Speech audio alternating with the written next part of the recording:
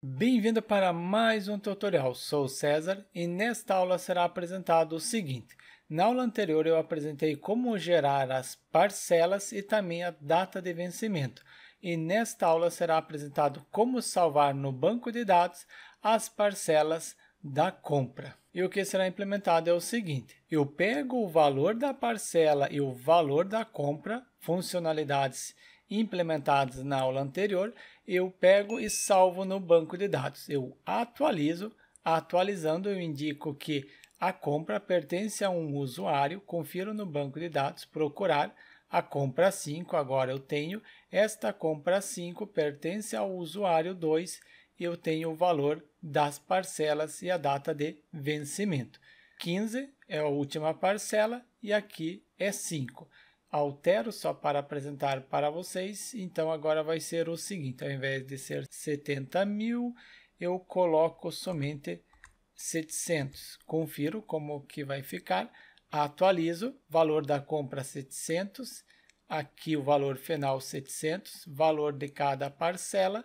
A última parcela houve a necessidade de acrescentar um centavo para que o valor total das parcelas seja o mesmo valor da compra. Confiro no banco de dados, atualizo, compra 6 pertence ao usuário 2, confiro no banco de dados em relação às parcelas, cada parcela sai pelo valor de 233, pertence ao carrinho 6, carrinho 6, usuário 2, a última parcela houve a necessidade de aumentar um centavo para que o valor de pagamento seja igual ao valor de compra. É isso que será implementado nesta aula, como salvar no banco de dados o valor da parcela e a data de vencimento, indicando para qual compra que pertence e também para qual usuário. Para começar, eu pego o código-fonte do tutorial anterior, caso você não esteja seguindo a sequência de aulas, abaixo o link para acessar a playlist completa. Eu coloquei o arquivo index da aula anterior no servidor local AMP Server dentro do diretório Celc. Abro no editor Visual Studio Code esse diretório Celc para abrir. Eu simplesmente arrasto esse diretório e depois eu starto o servidor local AMP Server e posso abrir no navegador, colocando localhost, o diretório Celc e o nome do arquivo index. Simplesmente Coloquei localhost, diretório Celc, arquivo index.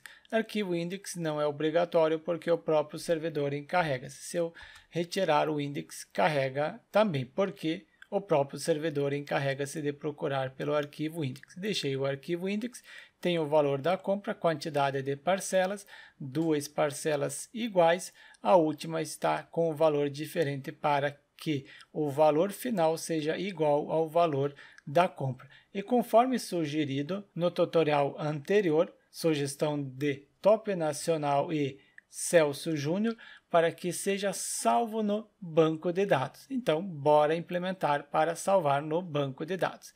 Primeiro, abro localhost servidor local, em seguida o phpMyAdmin, programa para gerenciar o banco de dados de forma gráfica. No meu caso, já realizei o login, mas eu deslogo, saio para começar novamente.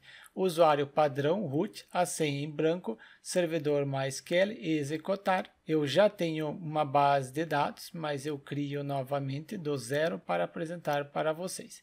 Então será uma base de dados com o nome de Celc Coloquei o nome da base de dados Celc, importante a collection, UTF-8, MB4 Unicode ICI, criado a base de dados e posso criar a primeira tabela. Então, vai ter a tabela usuários, deixo quatro colunas, primeira coluna ID, esta coluna ID é uma chave primária e também será autoincremento. O próprio banco de dados encarrega-se de incrementar só acrescento nome. Não, nome e e-mail. Nome varchar 220 caracteres e também eu coloco e-mail, seleciono varchar e também 220 20 caracteres. E no DB, para poder fazer o relacionamento de chave primária e chave estrangeira, caso você não saiba o que significa o relacionamento de chave primária e chave estrangeira, isso eu abordo no curso de PHP Developer. Mais detalhes do curso disponível no link abaixo do vídeo. Guardar para criar a tabela e inserir. Insiro o primeiro usuário, coloquei o nome, também acrescento um e-mail para este usuário eu copio somente o remetente e crio mais um usuário, coloco e-mail para este usuário, indico 20, não é necessário utilizar todos os registros. O segundo usuário, coloco o nome, então esse aqui eu sempre coloco por terceiro esse nome, então aqui também o e-mail da pessoa. Mais um usuário, este usuário tem um e-mail, coloco e-mail. Executar para criar esses quatro registros, acrescentei os quatro registros. Depois dos usuários, eu também tenho a seguinte tabela. Então, será a tabela compras, deixo quatro colunas, já é o suficiente. Primeira coluna é o ID, o ID é uma chave primária e também auto-incrementa. Você pode deixar compras ou qualquer outro nome. Eu coloco com o nome de carrinho. Este carrinho pertence a um determinado usuário. Eu tenho a tabela usuários. Pego o nome da tabela, retiro o S no final, usuário, underline ID, indicando que é uma chave estrangeira. Você pode colocar mais informações neste carrinho. Eu deixo somente isso. Por que eu deixo somente isso? Imagine que você está implementando um projeto para uma revenda de veículo. Você vende vários veículos em uma vez só ou um único. A grande maioria é um único veículo por vez.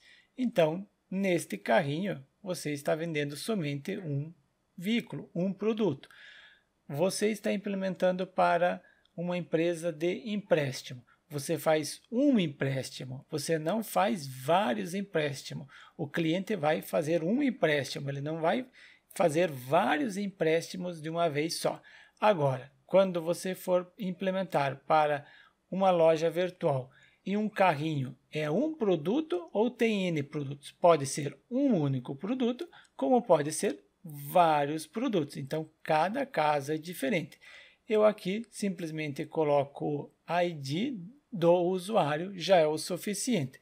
Eu estou indicando para qual usuário pertence a compra, mas você pode criar uma tabela de relacionamento produtos, caso você tenha interesse que seja apresentado como criar uma tabela para salvar vários produtos, deixe nos comentários. Então, mas aqui eu deixo simplesmente o usuário ID e no DB para poder fazer o relacionamento de chave primária e chave estrangeira, posso cadastrar um carrinho, venho inserir usuário. Pertence ao usuário 1, este carrinho pertence ao usuário 1 e este carrinho pertence ao usuário 2. Pode ser empréstimo, empréstimo do usuário 1, empréstimo do usuário 2. A compra do veículo 1, aqui poderia ser um empréstimo, e aqui poderia ser a compra de um veículo. É um único produto por vez. Executar, procurar, agora sim, já tenho a compra do usuário, pertence a este usuário. Agora eu preciso é salvar as parcelas. Então, esta compra, este carrinho 1, que pertence ao usuário 1, ou eu inverto. Aqui pertence ao usuário 2 e aqui pertence ao usuário 1 ou esse pertence ao usuário 4, só para ser diferente, para não ser igual ao ID. Assim fica mais fácil de vocês compreenderem. E agora eu crio uma nova tabela, a tabela parcelas. Venho na base de dados, coloco o nome de parcelas e quatro colunas já é o suficiente, então vai ser a coluna ID, depois chave primária, também auto incrementa eu tenho o valor, valor será um double, então você precisa colocar o double. Como que é salvo o double? Quando você utiliza o double, abrir o arquivo index que eu implementei na aula anterior, coloco aqui abaixo. Então, o valor double, você salva R$ 4,30 35 centavos. Você salva assim. Ou R$ reais você salva neste formato. Caso seja 30 centavos, coloca 4.3. Não coloca vírgula. Ao invés de colocar R$ 4,30, não é este formato. Você salva assim. Ou quando tem milhar. Imagine que o preço é o seguinte. Você fez a compra de um veículo. O veículo custa R$ 47.582,56 centavos. É este valor. Você apresenta para o usuário neste formato, mas salva no banco de dados sem este ponto e no lugar desta vírgula deve ser salvo o ponto. É neste formato que você salva. Você salva um double, por isso está aqui double. E as parcelas, elas têm uma data de vencimento. Então, eu coloco data, underline, vencimento. Data de vencimento é um date, somente date, porque não precisa a hora de vencimento. O usuário pode pagar 10 horas da manhã, 3 horas da tarde ou depois das 6, desde que tenha autorização para acessar o aplicativo do banco que ele quer utilizar para realizar o pagamento. Depois da data de vencimento, eu tenho é pertence para qual compra, para qual carrinho. Então eu abro aqui carrinho. Eu utilizo o nome da tabela eu coloquei de propósito. Observe que eu coloquei usuários e carrinho. Qual é o recomendado? No singular ou no plural? O recomendado é colocar no plural. Então, aqui eu também coloco carrinhos. Executar. Coloquei o nome da tabela no plural. Quando eu quiser utilizar como chave estrangeira, eu coloco no singular underline ID. Assim é fácil de identificar que é uma chave estrangeira. E no DB, caso queira fazer o relacionamento de chave primária e chave estrangeira, guardar para criar essa tabela. Valor, data de vencimento e depois eu tenho indicando para qual carrinho pertence. Desta forma, eu tenho a tabela usuários, depois eu tenho a tabela carrinhos, um carrinho pertence a um determinado usuário e cada carrinho pode ter uma ou várias parcelas. Esses carrinhos, eu deixei os valores cadastrados, mas eu excluo. Então, aqui o carrinho, eu limpo a tabela, não deixo nenhum registro. Então, se eu retornar, carrinhos está vazio. Usuários, eu deixo os usuários. Eu quero que esta compra seja cadastrada na tabela carrinho e essas parcelas sejam cadastradas nessa tabela parcelas e esta compra pertença ao usuário 4, para este usuário, não, usuário 2. Para isso, eu preciso conectar este projeto com o banco de dados. Eu crio um arquivo com o nome de conexão, sem caracteres especiais, tio, cedilha, acento. Colei uma conexão pronta para facilitar início da conexão. Coloquei as credenciais host, onde está o banco de dados, está localmente, então localhost usuário root. Lembra quando eu acessei o banco de dados PHP MyAdmin, eu coloquei o usuário root? Então, é este usuário, mas você pode cadastrar outros usuários se você quiser. Vem na base de dados que você quer acrescentar o usuário, vem em mais, privilégios, e aqui você pode adicionar novo usuário, indicando quais são os privilégios que ele tem. Eu deixo o usuário padrão que eu tenho, o root mesmo. Coloquei o root, a senha em branco, a base de dados CELC, esta base, e a porta 3306, a porta. A porta não é obrigatória, no entanto, eu a apresento, porque depende da versão do servidor local que você estiver utilizando, depende da versão do AMP Server ou qualquer outro servidor, pode ter a necessidade de acrescentar a porta. Então, coloquei a conexão com a porta e a conexão sem a porta. Com a porta, temos o port e aqui não tem a porta eu utilizo a conexão sem a porta. Testo se realmente está funcionando. Abro este arquivo conexão, substituo o arquivo index pelo conexão, conexão realizada com sucesso, retiro a letra E, será que faz a conexão? Não, não conseguiu. Base de dados desconhecida, dou um Ctrl Z, agora está realizando a conexão.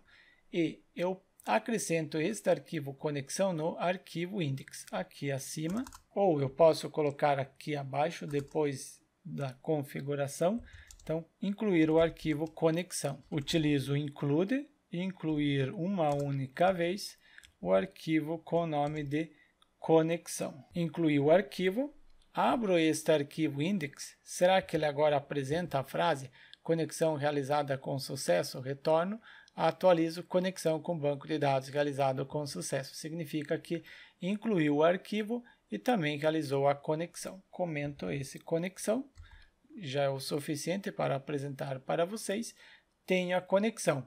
Agora eu preciso indicar para qual usuário eu quero cadastrar. Você pode pegar os dados do usuário logado, algo do gênero. Eu coloco um valor estático. Crio uma variável cifrão id underline usuário para ser fácil de identificar o id do usuário.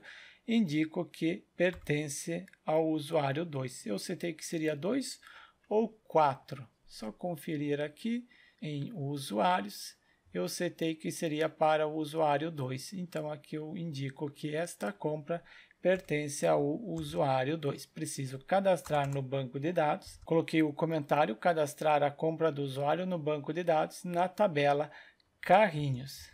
E na tabela carrinhos, quais são as informações que são salvas? Somente o ID do usuário este ID. Para criar uma query, então será um insert, insira os dados na tabela, copie o nome carrinhos para não ter erro em relação ao nome da tabela. Essa tabela recebe as colunas e essas colunas recebem os seguintes valores. Quais são as colunas que serão cadastradas? Neste caso, é uma única coluna. Peguei o nome não preciso enviar o ID porque é autoincrementa. O próprio banco de dados encarrega-se de incrementar. Posso colocar o valor direto aqui do usuário ID? Posso, no entanto, não é recomendado. O recomendado é criar um link, coloco o link usuário ID, é um link sem o cifrão. Se eu coloquei usuário ID, então aqui também será usuário ID, ao invés de ID usuário. Criado a query, atribuo esta query para uma variável cifrão query underline usuário. Eu tenho a query, preciso preparar. Para preparar, pego a variável que possui a conexão. Quem é esta variável con? Esta variável aqui, ela está recebendo a conexão com o banco de dados. Por isso, estou utilizando esta variável. Prepare para preparar a query que está dentro da variável cifrão query usuário. Query preparada, o resultado eu atribuo para uma variável cifrão result. Não, não será result, será CAD usuário, porque eu quero é cadastrar o usuário. No singular, porque é um único usuário. Preciso substituir este link por este valor. Pego a variável CAD usuário, depois bind parent indicando que eu quero substituir o link, este link, não esqueça dos dois pontos, esses dois pontos não são obrigatórios, mas eu recomendo que você siga esse padrão. Este link recebe o valor que está dentro desta variável. Assim você torna a sua aplicação mais segura. Isso aqui é uma instrução SQL, isso aqui é dado. Se o usuário enviar SQL, isso será reconhecido como dado. Inclusive aqui você pode colocar, por exemplo, PDO 2. parão str. É str é uma string? Não, não é uma string, é um inteiro. Então você pode indicar parão int. Isso aqui é um inteiro. Você pode fazer isso. Só recebe inteiro. Vamos deixar então assim? Só recebe um inteiro. Essa parte aqui não é obrigatória, você pode deixar assim que funcione.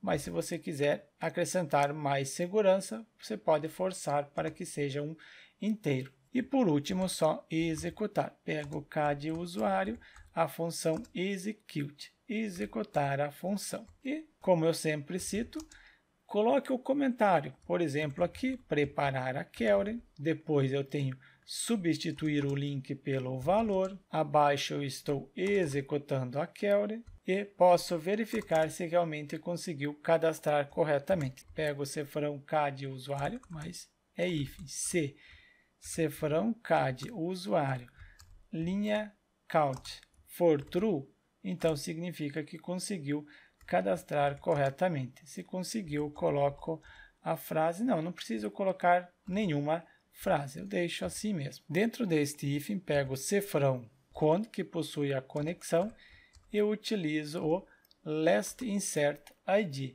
O que eu estou fazendo aqui? Eu estou recuperando o id do registro que eu acrescentei no banco de dados.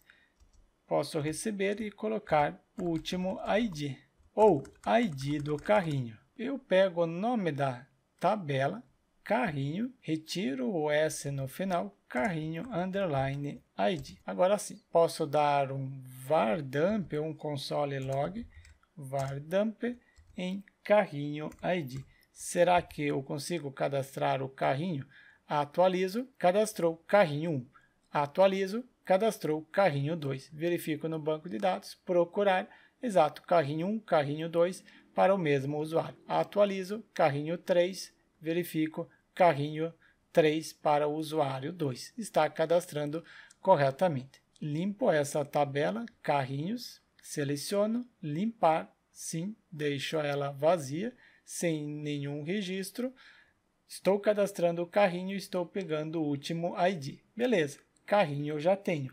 Agora, só preciso é cadastrar a parcela. E a parcela ela deve ser cadastrada aqui no final, depois da data de vencimento. Aqui faltou, acho que o comentário. Sim, acessa o hífen quando conseguir cadastrar corretamente. E abaixo também eu tenho recuperar o último ID.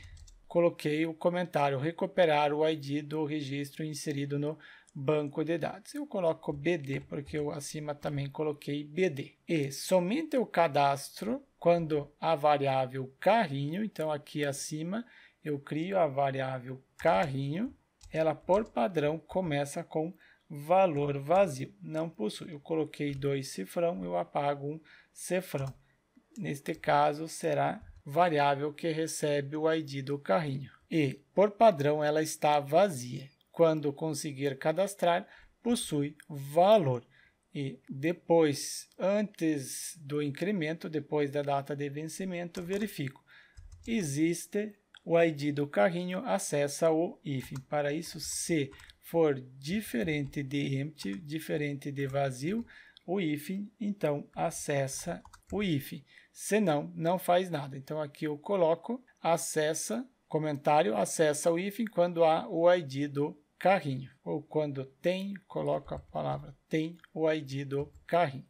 E neste if eu quero é cadastrar a parcela. Mas antes de cadastrar, vamos ver algumas informações. Ou pego a query, eu tenho aqui essa query insert. Posso pegar já esta query e ir aos poucos explicando. Desço no final e dentro deste if cadastrar a compra, não, não será cadastrar a compra, cadastrar as parcelas da compra. Em qual tabela que eu cadastro? É na tabela parcelas, pego o nome da tabela, é aqui que deve ser cadastrado, parcelas, porque são várias parcelas.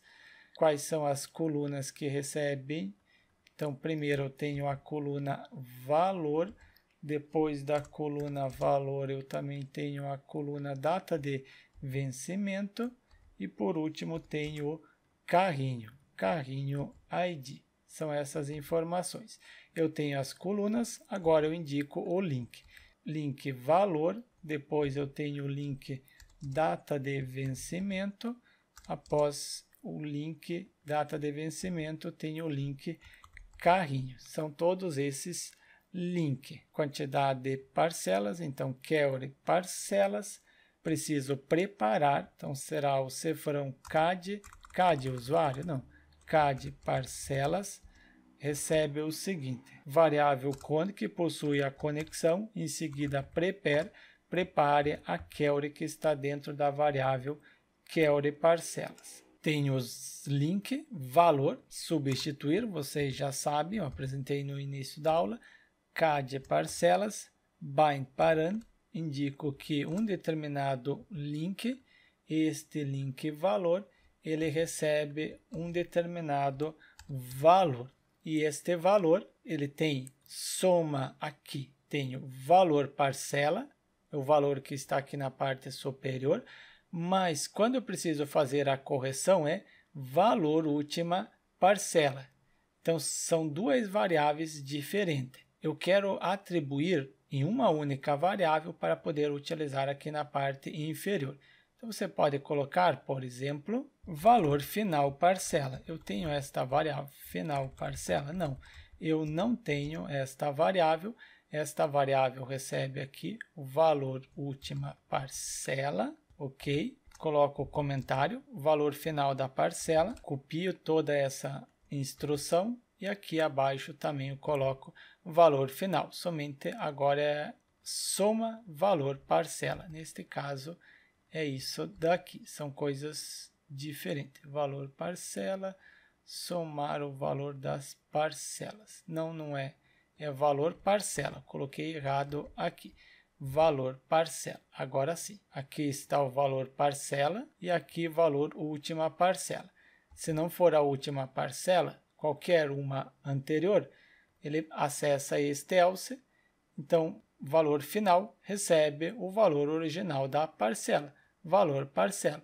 Agora, se for a última parcela que tem a correção do valor, então eu estou pegando, conferir, estou acessando este if e verificando se eu devo diminuir ou aumentar o valor. Por exemplo, aqui eu diminui, diminui um centavo mas se você colocar 700 aqui ao invés do 500, você precisa é aumentar um centavo.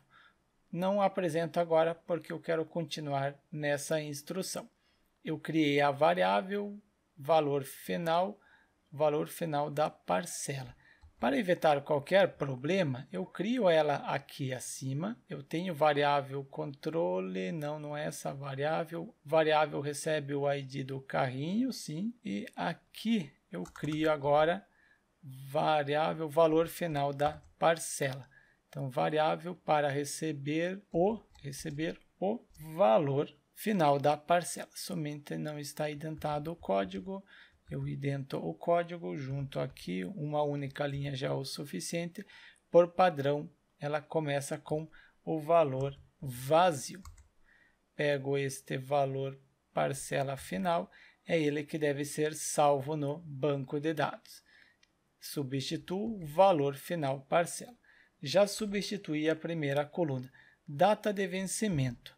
Neste hífen, eu comento isso daqui, não quero salvar, eu quero verificar como que está a nossa data, data atual format. Eu pego essa data aqui e dentro do hífen eu faço o seguinte, echo colo, no banco de dados deve ser salvo como a data.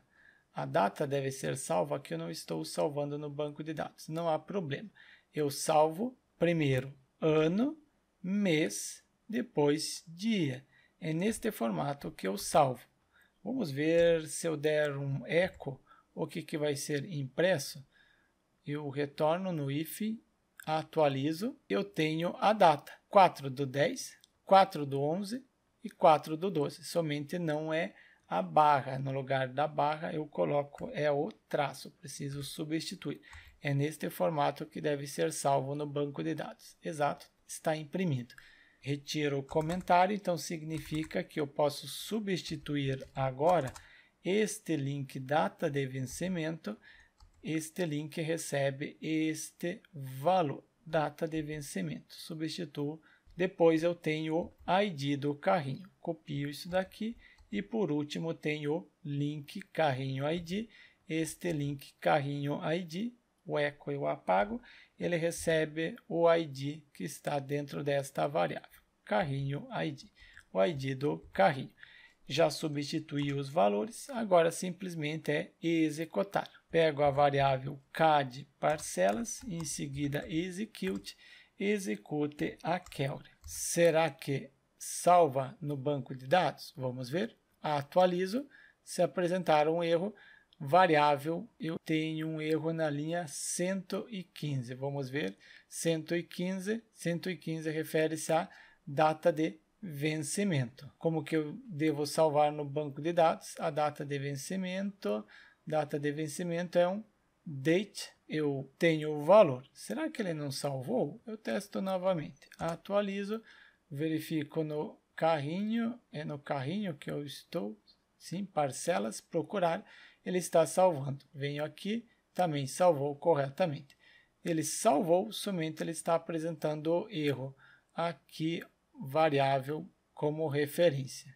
115, retorno novamente, data de vencimento, porque eu estou colocando o valor direto. Bind parent, então aqui eu coloco bind value. Vamos ver se é isso mesmo. Se eu colocar o bind value, agora sim.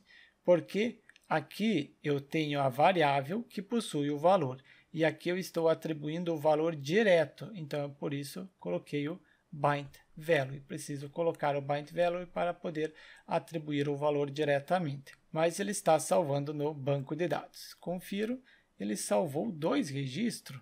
Eu limpo as duas tabelas, carrinho e parcelas. Limpar para começar do zero. Limpo, atualizo, venho em carrinhos, um único, exato, parcelas, atualizo as três parcelas. Mas aqui ele não está arredondando o valor, então eu preciso pegar o valor arredondado, valor final da parcela valor final, cadê valor da última parcela? Não, não é aqui. É aqui, valor última parcela, eu também devo formatar. Então, aqui eu pego formatado, formatar. Aqui eu preciso formatar, mesmo que ele esteja salvando corretamente no momento, mas quando houver mais de uma casa decimal, eu preciso corrigir. E aqui também, valor parcela, pego isso daqui. Mas observem que aqui eu estou imprimindo é com a vírgula, não pode ter a vírgula. Então aqui é ponto e aqui é vazio, o mesmo aqui acima. Ponto, o centavo é separado pelo ponto e a milhar nada, deixa vazio. Confiro, atualizo, ok? Confiro no banco de dados, procurar, não, é somente procurar Compra 2 pertence ao usuário 2, verifico no banco de dados, agora 67, 67 e 66. E a data também está salvando corretamente, pertence ao carrinho 2. Essas parcelas que possuem esse valor e a data de vencimento pertencem ao carrinho 2. O carrinho 2, este carrinho, ele pertence ao usuário 2. O usuário 2 é esse daqui. Assim você consegue identificar para qual usuário pertence as parcelas e também para qual compra que pertence às parcelas. Limpo novamente a base de dados, limpo carrinhos e parcelas, usuários não. Usuários eu não preciso limpar. Atualizo só para conferir, atualizando, verifico no banco de dados, eu venho em carrinhos, exato, usuário 2, e as parcelas estão corretas. Mas se eu colocar, por exemplo, agora, ao invés de 500, eu coloco 50 mil. Então, aqui está 50, deve ser salvo neste formato. Vamos ver, atualizo, cada parcela sai por 16.666,67 centavos. Para o usuário, você apresenta 16 mil, ponto porque é uma milhar, e depois o centavo 67. E no banco de dados, como que é salvo? Ah, e aqui também a data de vencimento você apresenta conforme temos o hábito de ver no dia a dia. Dia, mês e ano. No banco de dados, vamos ver, procurar a compra 2, pertence ao usuário 2, ver o valor, 16.000,67 centavos. Não tenho ponto para separar a milhar e o centavo eu separo pelo ponto. A data de vencimento salvo neste formato, primeiro ano, depois eu tenho o mês e o dia. É esse padrão que deve ser salvo no banco de dados para você poder trabalhar com a coluna date, trabalhar com a coluna indicando o tipo de dado que ela deve receber. não é recomendado você salvar a data em formato de string só para tentar salvar a data neste formato. Não faça isso. No banco de dados tem esse type date, não é só para enfeitar o projeto, é porque você deve salvar neste padrão. Estou salvando corretamente as parcelas. Eu atualizei, então ele cadastrou novamente no banco de dados. Está aqui o valor, todas as parcelas iguais, a última está diferente para poder fazer a correção. Se eu colocar 70 mil, 7, conferir o que será cadastrado. Atualizo 70 mil, cada parcela 23. A última houve a necessidade de arredondar um centavo a mais para que o valor final desse igual ao valor de compra. Se eu colocar 5, eu diminuo e se eu colocar o 7, eu preciso aumentar. 5 e 7 é só um exemplo. Cada cálculo é diferente. Pode ser que alguns precisem aumentar e outros é diminuir. Eu consegui dois exemplos, um para aumentar e outro para diminuir. Procurar 23 mil. Está salvando corretamente no banco de dados. Salvando as parcelas no banco de dados, deixe seu like e inscreva-se no canal para receber as notificações dos próximos tutoriais.